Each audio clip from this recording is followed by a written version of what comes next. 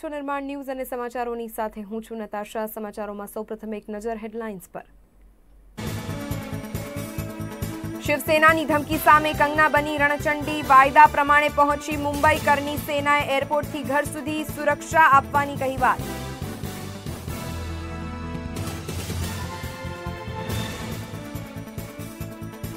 એકવીસમી સપ્ટેમ્બરથી પાંચ દિવસ સુધી મળશે ગુજરાત વિધાનસભામાં ચોમાસુ સત્ર. ચોવીસ કાયદાઓ અને સુધારા વિધેયક લાવવામાં આવશે.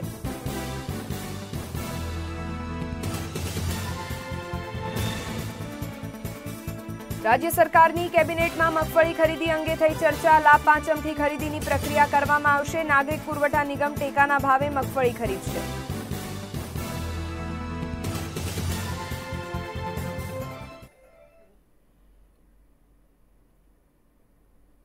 સમાચારોમાં વિસ્તારથી શરૂઆત કરીએ તે પહેલા મળતા મહત્વના સમાચાર પર નજર કરીશું. શિવસેનાની ધમકી સામે કંગના રણચંડી બનીને આખરે મુંબઈ એરપોર્ટ પર આવી પહોંચી છે.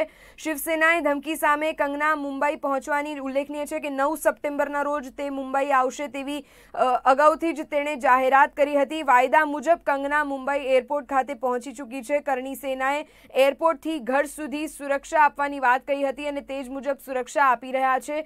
શિવસેનાના કાર્ય કાર્યકર્તાઓએ કંગનાને, કંગનાના એરપોર્ટ પર આવ્યાની સાથે જ કાળા ઝંડા બતાવ્યા હતા. કંગનાની મુંબઈ મુલાકાત પહેલા બીએમસીએ કંગનાની ઓફિસ ઉલ્લેખનીય છે કે આજે સવારે જ ગેરકાયદેસર ભાગ આગળ સુધી ખેંચ્યાની વાત કરીને બીએમસી દ્વારા તેની ઓફિસનો અમુક ભાગ તોડી પાડવામાં આવ્યો છે. આખરે હુંકાર બાદ કંગના મુંબઈ આવી પહોંચી છે. એરપોર્ટ પર કરણી સેના અને આરપીઆઈના કાર્યકર્તાઓ મોટી સંખ્યામાં એકત્રિત થયા હતા. બીજી તરફ શિવસેનાના કાર્યકર્તાઓ પણ એકત્રિત થયા. કંગનાની ખિલાફમાં નારેબાજી કરતા શિવસેનાના કાર્યકર્તાઓ પણ સોશિયલ ડિસ્ટન્સિંગ ભૂલાયું છે. આ સમગ્ર પ્રક્રિયામાં આપણે જોઈ શકીએ છીએ કે મોટી સંખ્યામાં લોકો સમર્થન અથવા તો તેના વિરોધમાં એકત્રિત થઈ રહ્યા છે.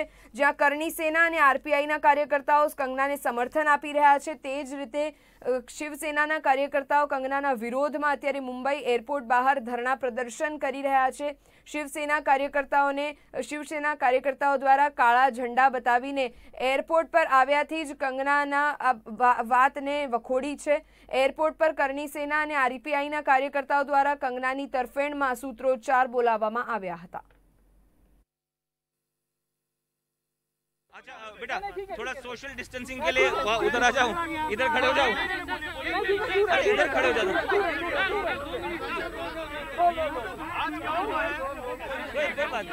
आज क्या हुआ है? आज जो है कंगना रनौत का बंगला तोड़ा गया है। तो इस बारे में पहले डिटेल में बताएँ ये क्यों हुआ है और क्या आप लोग की इस बारे में कहना है आप लोग? देखिए सबसे पहली बात उन्होंने जो नोटिस दिया हमको एक मिनट आवाज़ आएगी आपको? आप बताइए वापस पूरी सबसे पहली बात तो ये है कि जो स्टॉप वर्क नोटिस उन्होंने दिया था वो स्टॉप वर्क नोटिस ही बेबुनियाद है। मेरी नज़र में वो एब्सोल्युटली इलीगल है बिकॉज़ स्टॉप वर्क नोटिस देना आपको उनको पड़ता है जिनके घर में काम चालू हो। हमारे घर में पिछले अठारह महीने से कोई काम नहीं हो रहा है। छः महीने से तो कोरोना है। कोरोना के चक्कर में वैसे भी सब काम बंद है। मेरी क्लाइंट जो है, वो खुद हिमाचल में है, वो भी यहाँ पे नहीं है। उसके बावजूद वो लोग इलीगल अंदर घुसे घर में क्रिमिनली थ्रेटन करके और आस पड़ोस में सबको धमकी देके घुस गए घर में और उन्होंने अपना जो भी कुछ कार्रवाई किया और हमको नोटिस दिया, बेबुनियाद नोटिस दिया। वो नोटिस का जवाब मैंने कल का कल ही दे दिया था, जिसमें 24 घंटे लिखे थे। मैंने उनको चार घंटे में दे दिया 24 घंटा भी नहीं रुका।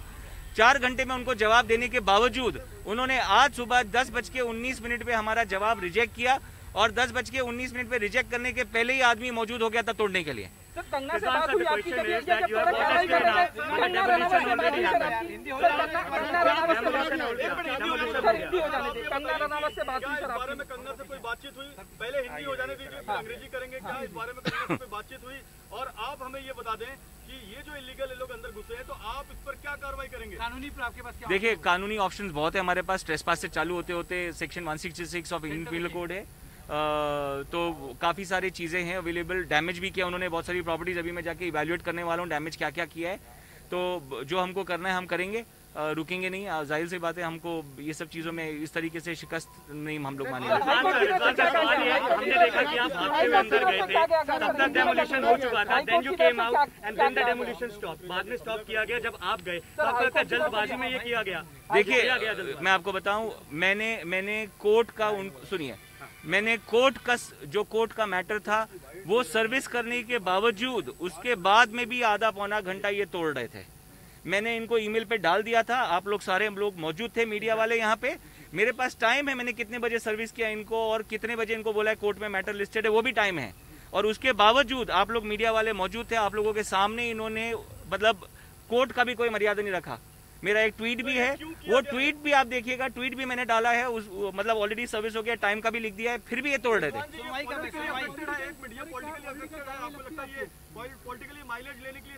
रही अब ये पॉलिटिकल के बारे में मैं नहीं बोलना चाहूँगा। ये आप लोग सब समझते हैं कि पॉलिटिकल है कि नॉन पॉलिटिकल है। जहाँ पे बेसिक नोटिस भी गलत है एंट्री गलत है कोर्ट का कोर्ट की मर्यादा नहीं रख रहे हैं वो लोग। कोर्ट में ऑलरेडी फ़ाइल हो गया। मैटर साढ़े बारह बजे का हियरिंग है। वकील आ रहा है। बोलते हुए कि साला तुमको ऑलरेडी सर्व किया हुआ है ऑलरेडी तुमको बता दिया जा रहा है फिर भी तोड़ रहे हो। अभी आपकी क्लाइंट यहाँ पर आएँगी। अभी मुझे नहीं पता वो। कंगना यहाँ पर आ रही है मुझे नहीं पता अभी वो कितने बजे है क्या तीन बजे। सर क्या कंगना से कुछ बात हुई कंगना से कोई बातचीत हुई आपकी? कंगना फ़्लाइट में है मेरी बात नहीं हुई है। तो आप बता रहे थे जानकारी है। हाँ, जब वो तोड़ना शुरू किए थे उस टाइम पे कंगना फ़्लाइट में बैठ रही थी तो कंगना को कुछ आइडिया है। उनके रिलेटिव्स ने आपको बताया आप बता रहे जी। क्या क्या? यही की तोड़म ताड़ी चालू थी। तोड़म ताड़ी उन्होंने शुरू कर दिया तो रुक ही नहीं रहे हो। सर आप ये बता दें एक बार कि ये जो तोड़ कार्रवाई हुई है इसमें कहाँ कहाँ पर आप लोग गलत हैं? करने के लिए रुके। वो सच्ची रहती थी तो इधर आके बात करके जाती थी ना। वो झूठी है झूठी है मक्कार है इसके लिए भाग गई है चुपके से। भाग गई है। क्यों गई वो? वो डरती है इसीलिए वो भाग गई है। हम लोग उसका निषेध कर रहे हैं। इसके लिए यहाँ खड़े हैं और वैसे ही खड़े रहेंगे। जब तक हमको न्याय मिलेगा तब तक हम इधर जब खड़े तक नहीं मिलेगा कंगना रनौत को छोड़ेंगे नहीं हम छोड़ेंगे नहीं वो किधर हाँ? क्या नहीं चाहते वो माफ़ी मांगना चाहिए मुंबई की। हमारे सरकार की माफ़ी मांगना चाहिए। माफ़ी माफ़ी मांगना चाहिए। माफ़ी मांगना चाहिए। हमारे साहब को खुला चैलेंज किया था कि मैं मुंबई आऊँगी। तो क्यों डर के भाग गई? क्यों डर के भाग गई वो। भाग के नहीं जाना चाहिए था। क्यों सेफ्टी ली उसने? क्यों बेजाने की साथ बात करके क्यों नहीं गई उसने हमारे साथ आके बात करके जाना चाहिए था। हम लोग उसका निषेध कर रहे हैं। आगे भी करेंगे। त्या बाजूला कमिशन आणि रिपब्लिकन पार्टी ऑफ इंडियाचे लोक होते. કંગનાના સમર્થનમાં કરણી સેના અને આરપીઆઈના કાર્યકર્તાઓ હાલ એરપોર્ટની બહાર ધરણા પ્રદર્શન કરી રહ્યા છે. મુંબઈ એરપોર્ટથી કંગના રનૌત નીકળી ચૂકી છે. પોતાના ઘર ખાર વિસ્તારમાં તે વસવાટ કરે છે. મુંબઈના ખાર વિસ્વાટમાં વિસ્તારમાં તેનું ઘર છે અને ખાર વિસ્તાર તરફ તે આગળ વધી ગઈ છે. એરપોર્ટ પર કંગનાની ખિલાફમાં અનેક લોકો, અનેક કાર્યકર્તાઓ દ્વારા નારેબાજી કરવામાં આવી. આ એરપોર્ટની માફ કરશો, ફ્લાઇટની અંદરના દ્રશ્યો આપ જોઈ શકો છો કે જ્યાં કંગના રનૌત જ્યારે ફ્લાઇટમાં હિમાચલ પ્રદેશથી મુંબઈ સુધીની સફર કરી રહી હતી અને તે દરમિયાનમાં તેના ફૂટેજીસ લેવામાં આવ્યા. કંગના રનૌતના સપોર્ટમાં એટલે કે તેના સમર્થનમાં જે કરણી સેનાના કાર્યકર્તાઓ છે અને આરપીઆઈના કાર્યકર્તાઓ મોટી સંખ્યામાં ઉમટી પડ્યા હતા.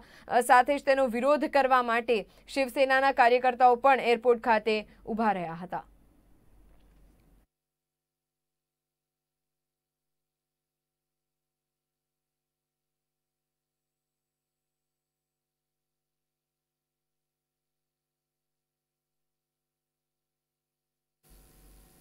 શિવસેનાના પ્રવક્તા સંજય રાઉત છેલ્લા ઘણા દિવસથી બોલિવૂડ અભિનેત્રી સાથે વિવાદમાં છે અને બંને વચ્ચે થઈ રહેલા વાક યુદ્ધની દેશભરમાં ચર્ચા છે.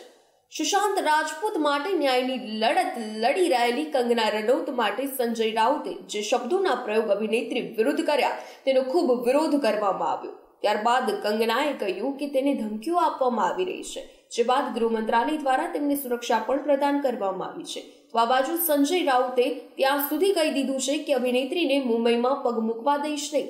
ત્યારબાદ મામલો ગરમાયો હતો. પરંતુ જાતિ કંગના રનૌતે મુંબઈની તુલના પાકિસ્તાન સાથે કરી છે. ત્યારથી શિવસેનાનું લોહી ઉકળી ઉઠ્યું છે. જેના ભાગરૂપે આજે બીએમસી એક્શન મોડમાં આવી ગઈ હતી અને બીએમસી દ્વારા અભિનેત્રીની ઓફિસને ગેરકાયદેસર ગણાવીને તોડી પાડવામાં આવી છે. ત્યારે કંગનાએ બીએમસીના એક્શનને બાબરનું એક્શન ગણાવ્યું છે. Bureau report Nirman news Ahmedabad.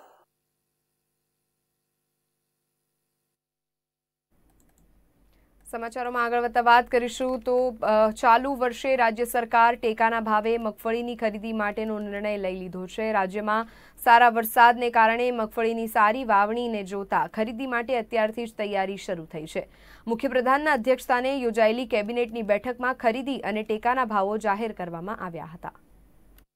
Gujarat સરકાર ચાલુ વર્ષે લાભ પાંચમથી ટેકાના ભાવે મગફળીની ખરીદી કરશે. મુખ્યપ્રધાનના અધ્યક્ષ સ્થાને મળેલી કેબિનેટમાં ખરીદી અને ટેકાના ભાવો નિશ્ચિત કરવામાં આવ્યા છે. પુરવઠા વિભાગના પ્રધાન જયેશ રાદડિયાએ આ બાબતે નિવેદન આપતા જણાવ્યું હતું કે પુરવઠા નિગમ દ્વારા જ મગફળીની ખરીદી કરવામાં આવશે. રાજ્ય સરકાર લાભ પાંચમથી મગફળીની ખરીદી પ્રતિ ક્વિન્ટલ પાંચ હજાર બસો ને પંચોતેરથી કરશે, જે પ્રમાણે મણનો ભાવ એક હજાર પંચાવન થશે. પુરવઠા નિગમ દ્વારા નિશ્ચિત સ્થાનો પર પૂરતા સ્ટાફ સાથે ખરીદી શરૂ થશે, જે માટે મહેસૂલ અને કૃષિ વિભાગના કર્મચારીઓની મદદ લેવામાં આવશે. આવનારા ટેકાના ભાવે મગફળી ખરીદી માટે આ કેબિનેટમાં ચર્ચા થઈ હતી. રાજ્યના મુખ્યમંત્રી શ્રી રાજ્ય સરકારને કેબિનેટે નિર્ણય કર્યો છે કે આ વર્ષે ટેકાના ભાવે મગફળી ખરીદવાની પ્રક્રિયા એ ગુજરાત રાજ્ય નાગરિક પુરવઠા નિગમ રાજ્ય સરકારની એજન્સી એસએલએ તરીકે કામગીરી કરશે. છેલ્લા બે વર્ષથી રાજ્ય નાગરિક પુરવઠા નિગમ ટેકાના ભાવે મગફળી કરતી આવી છે. આવનારા દિવસોમાં પણ સફળતાપૂર્વક ટેકાના ભાવે મગફળીની ખરીદી પ્રક્રિયા પૂર્ણ થાય માટે નોડલ એજન્સી તરીકે નાગરિક પુરવઠા નિગમને જવાબદારી આપવામાં આવી છે. પાંચ હજાર બસો પિચોતેર રૂપિયા પ્રતિ ક્વિન્ટલના ભાવે, એટલે એક હજાર અને પંચાવન રૂપિયા પ્રતિ મણ વીસ કેજીના ભાવે પુરવઠા નિગમ રાજ્યના ખેડૂતો પાસેથી ટેકાના ભાવે મગફળીની ખરીદી પ્રક્રિયા કરશે. આ મગફળી માટે એક હજાર પંચાવન પ્રતિ વીસ કેજી. એટલે પાંચ હજાર બસો પિત્તોતેર પ્રતિ ક્વિન્ટલના ભાવે મગફળીની ખરીદી પ્રક્રિયા કરશે. આવનારા દિવસોની અંદર માર્કેટિંગ યાર્ડના સ્થળ ઉપર રાજ્ય નાગરિક પુરવઠા નિગમમાં પ્રક્રિયા હાથ ધરશે આવનારા દિવસોમાં એની મિટિંગ કરી તારીખો પણ રાજ્યના ખેડૂતોને જણાવશું ક્યારથી રજીસ્ટ્રેશન થશે ક્યાંથી ખરીદી કરવાની અને દિવાળી પછી લાભ પાંચમથી આ સમગ્ર ખરીદી પ્રક્રિયા રાજ્ય નાગરિક પુરવઠા નિગમ કરવા માટે જઈ રહ્યું છે. છેલ્લા બે વર્ષની જેમ આ વર્ષે પણ વીસી દ્વારા ઓનલાઈન ફોર્મ ભરવામાં આવશે, જે માટેની તારીખો પાછળથી વ્યવસ્થા ગોઠવાયા બાદ જાહેર કરવામાં આવશે. મહત્વનું છે કે રાજ્યમાં સારા વરસાદના કારણે મોટા પ્રમાણમાં મગફળીની વાવણી થઈ છે.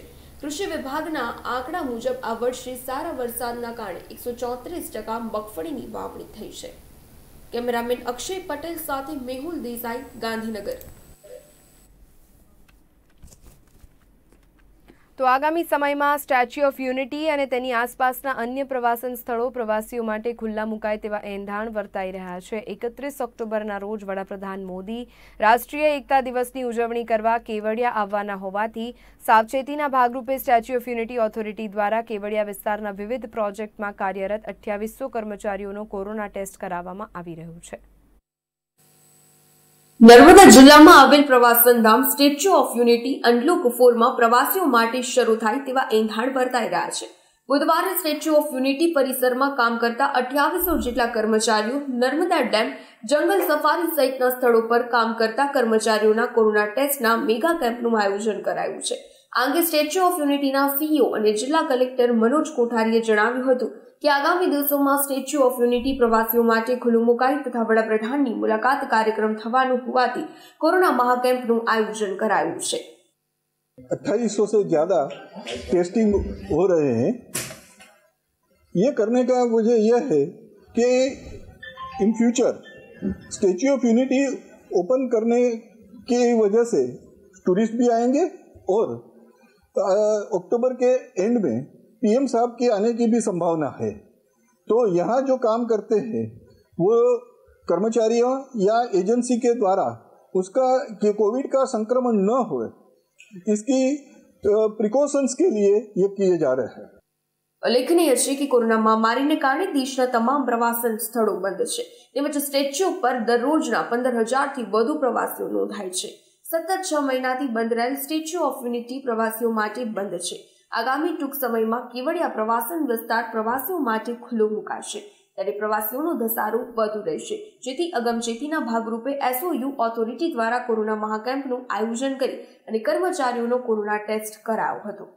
Statue of unity, jungle safari અને સ્ટેચ્યુ વિસ્તારમાં લગભગ ત્રણથી ચાર લોકેશન પર હાલ કોરોના ટેસ્ટ ચાલી રહ્યો છે. તમે જોઈ શકો છો કે હાલ જે આ કોરોના ટેસ્ટ છે, તે અહીં જે કામ કરતા જે કર્મચારીઓ છે, તે તમામ કર્મચારીઓનો હાલ કોરોના ટેસ્ટ થઈ રહ્યો છે.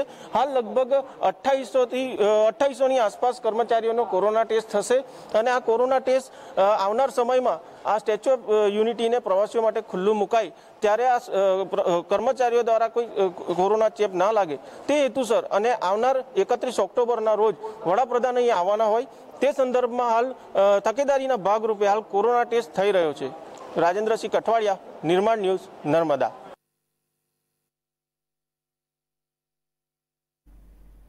હાલના સમયમાં આપણે ગાય, ભેંસ, ઊંટ જેવા પશુઓના દૂધ અને દૂધની બનાવટો બજારમાં મળતી હોય છે. તે જ રીતે એક નવી પેદાશ કે જેની આપણે કલ્પના પણ ન કરી શકીએ, એવા ગધર્ભના દૂધનો વેપાર અથવા તેનો ઉપયોગ થઈ શકે છે. આ દૂધ વિશ્વનું સૌથી મોંઘું મળી શકનારું, જેની કિંમત પ્રતિ લીટર રૂપિયા સાત હજાર જેટલી રહી શકે છે.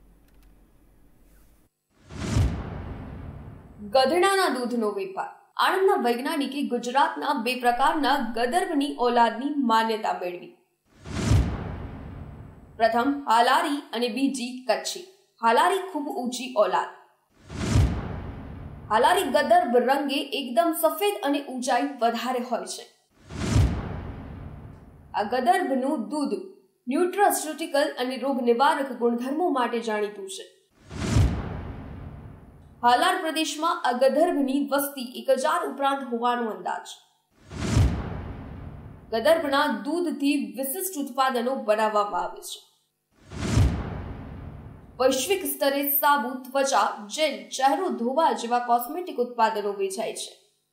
આણંદ કૃષિ યુનિવર્સિટી સંચાલિત વેટરનરી કોલેજના વૈજ્ઞાનિકે ગુજરાતના બે પ્રકારના ગદર્ભના ઓલાદની માન્યતા મેળવી છે, જેમાં એક હાલારી અને બીજી કચ્છી છે. જામનગર અને દેવભૂમિ દ્વારકા જિલ્લાઓ હાલાન પ્રદેશ તરીકે ઓળખાય છે, જ્યાં આ ગદર્ભ જોવા મળે છે. આ બે જિલ્લામાં તેની વસ્તી એક હજાર ઉપરાંત હોવાનો અંદાજ છે. પશ્ચિમમાં ગદર્ભના દૂધનું એક લીટર, જે તેના ન્યુટ્રાસ્યુટિકલ અને રોગ નિવારક ગુણધર્મો માટે જાણીતું છે, જેની કિંમત સાત હજાર રૂપિયા છે.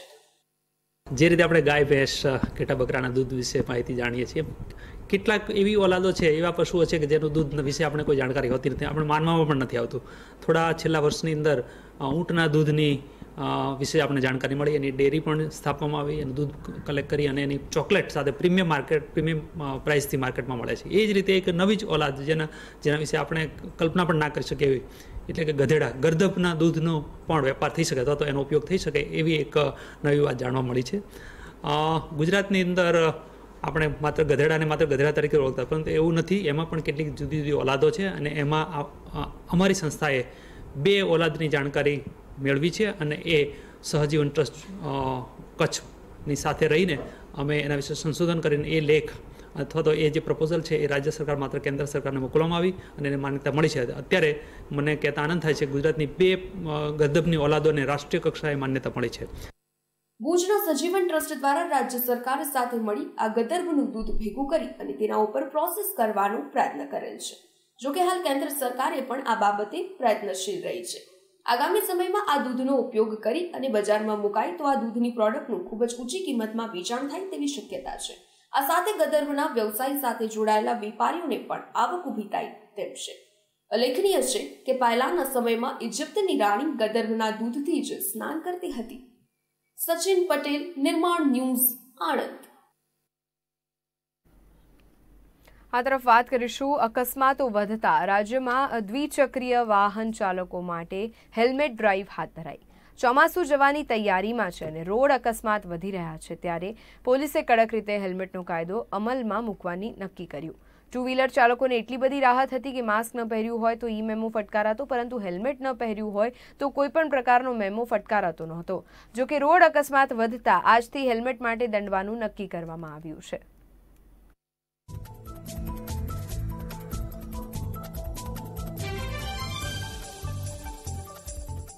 ગંભીર ઈજા થાય તો ખોડખાં પણ આવી શકે અને મૃત્યુ પણ થઈ શકે છે. લોકો આ વાતને ટાળી અને હેલ્મેટ પહેરવાનું ટાળે છે. કે મારે થોડાક સુધી જવું છે, મને ક્યાં એક્સિડન્ટ થઈ જશે. પરંતુ એક્સિડન્ટ જ જરૂરી નથી. બાઇક ઉપરથી નીચે પડીએ અને માથું જો રોડ ઉપર ભટકાય, તો જીવલેણ ઈજા થાય અને મૃત્યુ નોતરી શકે. આ વસ્તુઓ ના બને એ માટે હેલ્મેટ ફરજિયાત જરૂરી છે. કાયદામાં પણ જરૂરી છે, પરંતુ લોકોએ એને હળવાશથી લીધું છે ત્યારે આ મૃત્યુ રોકવા માટે અને લોકોને હેલ્મેટની ફરજિયાત આદત પડે એ માટે અત્યારે સુરત પોલીસ નહીં, સમગ્ર ગુજરાત રાજ્યમાં આ કાર્યવાહી શરૂ કરવામાં આવી છે.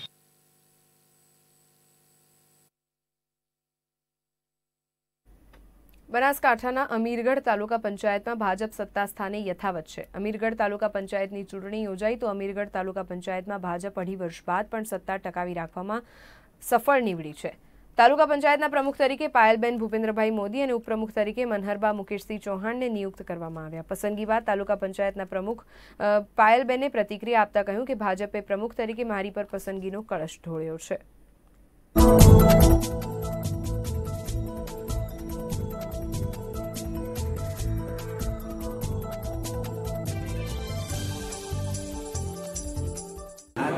આજની તાલુકા પંચાયત પ્રમુખ, ઉપપ્રમુખની ચૂંટણીમાં બે જે કોંગ્રેસ અને ભાજપ પક્ષ તરફથી, બંને જણા તરફથી પ્રમુખ અને ઉપપ્રમુખ માટે ફોર્મ ભરાયેલા હતા. જેમાં પ્રમુખ તરીકે ભાજપના મોદીબેન મોદી પાયલબેન ભૂપેન્દ્રકુમારને શું કહેવાય, વિજેતા ઘોષિત કરેલ છે. એવી જ રીતે ઉપપ્રમુખ માટે ચૌહાણ, મનરબા, મુકેશસિંહ જેમને વિજેતા જાહેર કરેલ છે. ભારતીય જનતા પાર્ટીએ જે મારા ઉપર વિશ્વાસ મૂકી અને મને જીતાડી એ બદલ ભારતીય જનતા પાર્ટીનો આગેવાનોનો સૌ કાર્યકર્તાઓનો ખૂબ ખૂબ આભાર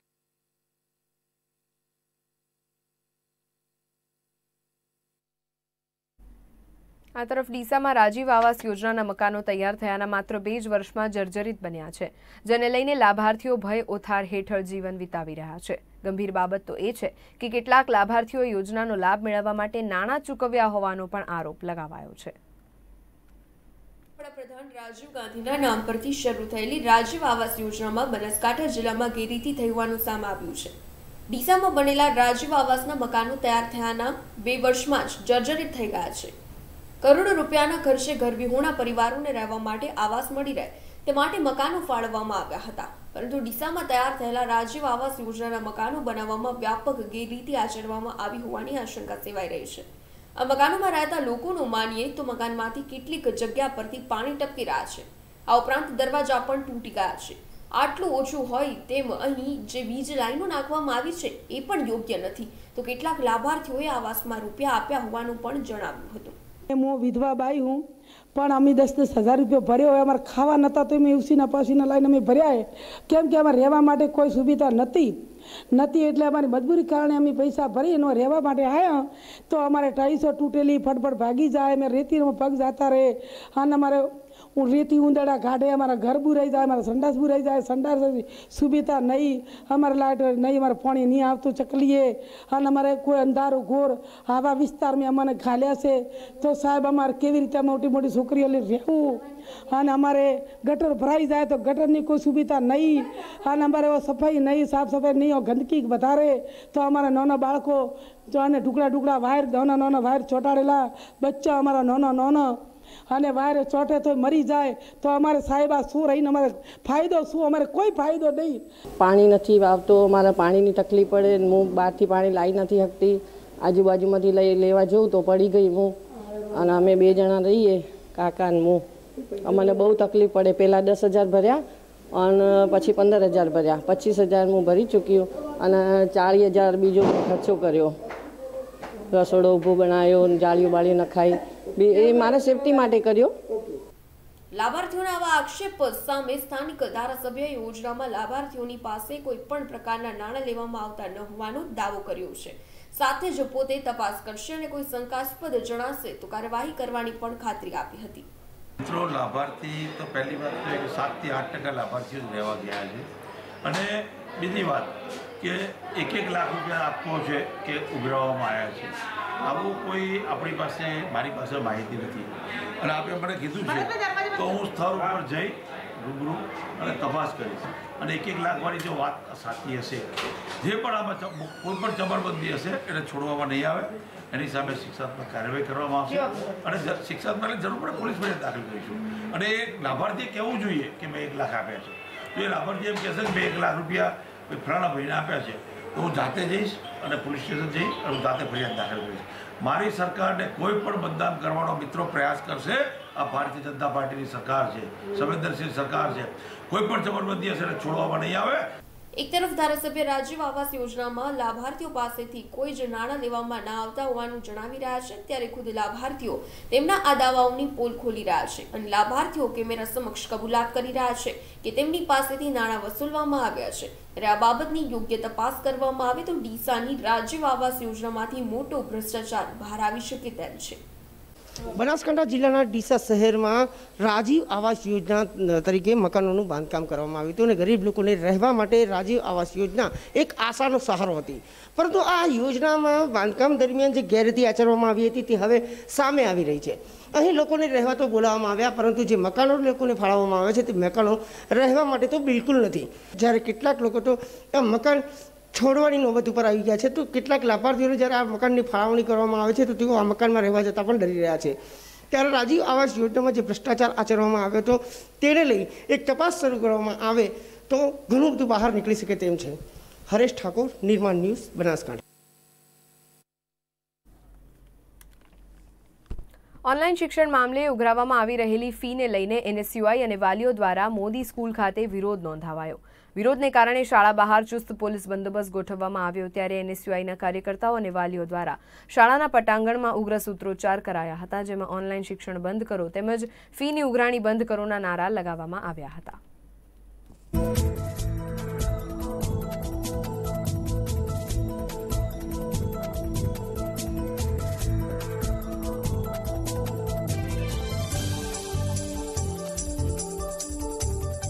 રાજકોટના અંબિકા ટાઉનશીપ વિસ્તારમાં આવેલી મોદી સ્કૂલ, કે જ્યાં સૌથી વધુ વાલીઓ ફીના મામલે અને ઓનલાઈન શિક્ષણના મામલે રજૂઆત કરવા માટે આવ્યા છે. એનએસયુઆઈ એમના સમર્થનમાં આવ્યું છે. ભૂતકાળમાંય વાલીઓ રજૂઆત કરવા આવે એટલે સ્કૂલે તાળા મારીને નીકળી જવું વાલીઓને ગોળ ગોળ જવાબ દેવા વોટ્સઅપમાં રેકોર્ડિંગ મોકલી અને સ્કૂલની વિરુદ્ધમાં કોઈ સૂત્રોચ્ચાર કે રજૂઆત કરશે તેની વિરુદ્ધ કાર્યવાહી કરવાની ધમકીઓ. આવા તમામ મુદ્દાઓને લઈને આજે એનએસયુઆઈને વાલીઓ રજૂઆત કરવા આવ્યું છે. વાલીઓની મુખ્ય માંગ એક જ છે કે અમારે ઓનલાઈન શિક્ષણના નામે એક પણ પ્રકારની ફી ભરશું નહીં. ફીનો મામલો હાઈકોર્ટમાં પેન્ડિંગ છે. તો અમે જ્યારે વાસ્તવિક શિક્ષણ ચાલુ થશે તે દિવસે અમારા બાળકને પૂરી ફી સાથે, ચેક સાથે અમે સ્કૂલનું પગથિયું ચડવા દેશું.